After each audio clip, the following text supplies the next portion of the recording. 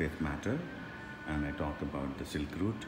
I talk about the spice route, how the food travel before even human travel. In India, every poor people and rickshaw, the workers, they eat chow mein, but they never been in China. So how the food is first come, no? So how the I think is a the basically monk, the uh, when Chinese monk come for the Buddhism and how they bring the dim sum to India and uh, how the food can change and become your own food. No, so quite interesting in that aspect. And same time, it look like a city scraper. Exactly. And the same time, it look like a prosperity, human. human. So so many human things. uh, many things come together in this. No?